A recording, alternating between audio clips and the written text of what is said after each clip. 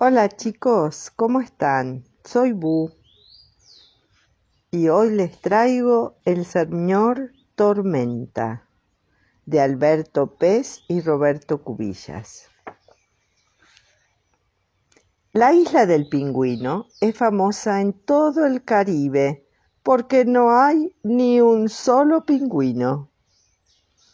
En los mapas figura con ese nombre, pero todos la conocen como la isla de las tormentas, porque allí suceden cosas muy extrañas. Amanece con lluvia, corre viento al mediodía, hay granizo hacia la tarde y nieva por la noche. Es muy sencillo reconocer a un nativo de la isla de las tormentas, porque sea quien sea, haga lo que haga y vaya donde vaya, cada vez que se emociona provoca tormentas. Tengo un amigo que vive allí y de vez en cuando viene a visitarnos, y ahí comienzan los problemas.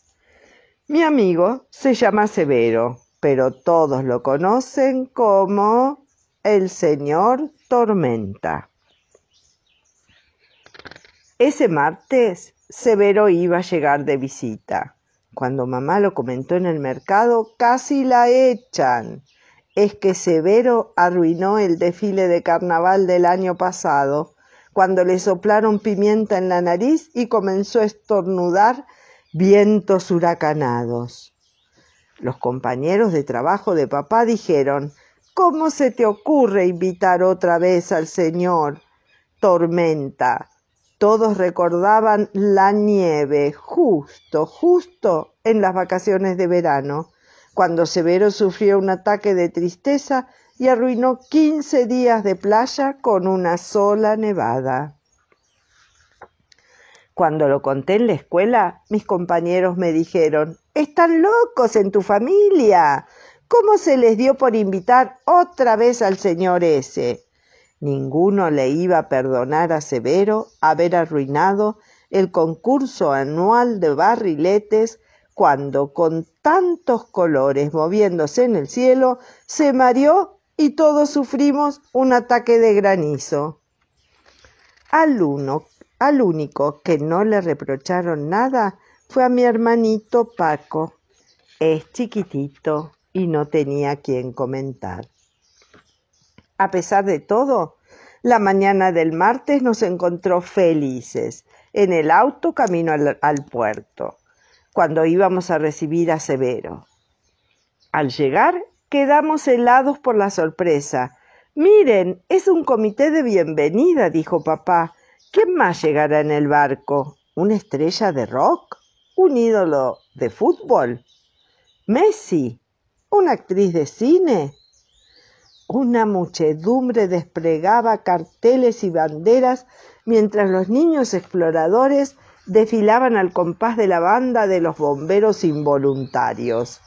En el palco oficial estaban los hermanos Gramática, los chicos más estudiosos del país, con una pancarta que decía Bienvenido, señor Tormenta. Era increíble lo que estaba sucediendo. Las personas que antes protestaban por la llegada de nuestro amigo ahora le daban la bienvenida. ¿Qué es esto? ¿Qué está pasando acá? preguntaba papá en voz alta. Debe ser por la sequía, sugirió mamá, convencida. Los cuatro nos quedamos en silencio. Y como siempre, mamá tenía razón. El pueblo quería emocionar a Severo y provocarle lágrimas que desataran lluvias para regar los campos. Había sequía. Ellos lo habían planeado todo y nosotros, como siempre, viviendo en las nubes. La muchedumbre aplaudía y coreaba cantitos. Severo corazón, te queremos ver campeón. Lara, lara, larí, lara, lara, larón.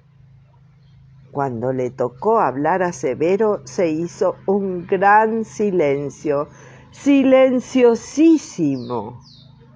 Se acercó despacio al micrófono, se sacó el sombrero y empezó a pellizcarle los bordes con la mirada fija en el suelo.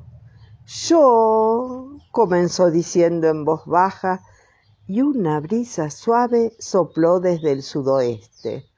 Estoy, prosiguió tembloroso, y las nubes se retorcieron en el cielo. Tan, continuó con un sollozo, y todo se oscureció entre relámpagos y ruidos de cremos, de truenos. Tan feliz, dijo al fin y dejó caer una lágrima que pronto se perdió entre otras gotas, porque llovía. Después de meses de sequía, todos estaban radiantes. Se olvidaron de Severo y corrían para abrazarse y besar la tierra, ahora húmeda. El agua continuó cayendo y las suaves brisas hicieron fuertes vientos. Primero volaron algunos sombreros, Después volaron los globos y las pancartas, hasta que alguien vio planear al trombón del trombonista, y he sabido que los trombones de los trombonistas no vuelan ni planean. Todos se amontonaban porque querían volver a sus casas.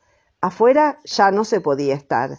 Los charcos eran piletas y la gente petiza tenía el agua hasta el cuello. Alguien gritó señalando a Severo todo es culpa de ese inútil. Sí, respondió otro subido a un farol. Inservible. Fuera, señor Tormenta. Abrazados a los árboles, en racimos sobre las terrazas, colgados de los balcones, todos gritaban contra Severo. Ahora Severo estaba confundido. Y eso trajo mayor desastre. Un frente de nieve desde el oeste vientos cálidos desde el sur, desde el sur y granizo desde el norte. Todo mezclado como en una licuadora loca. Severo creyó que todos habían querido burlarse de él. Peor, que mucho peor. Ahora Severo estaba enojado. Todas las tempestades le pertenecían y fue desatándolas con furia una por una hasta que las ráfagas del viento arrancaron a mi hermanito de los brazos de papá. Paco giró como un papelito dando vueltas por el aire y gritando de alegría.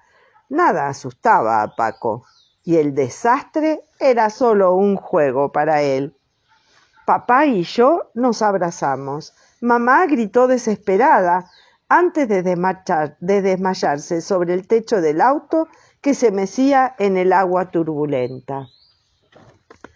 Allá, a lo lejos, Paco estaba a punto de estrellarse contra las chimeneas del barco donde había llegado Severo, pero Severo estiró los brazos justo a tiempo. Se miraron, se sonrieron y Paco, en su media lengua, dijo Hola, Chevero. Entonces los vientos se calmaron, la lluvia se detuvo el granizo se deshizo y la nieve se derritió.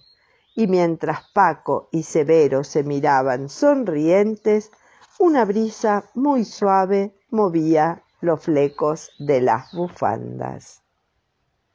Qué lindo, ¿no?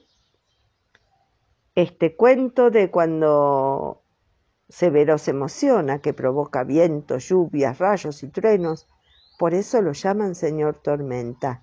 Y nadie, nadie lo quiere de visita, salvo cuando se calma. Bueno, espero que les haya gustado. Un beso muy, muy grande.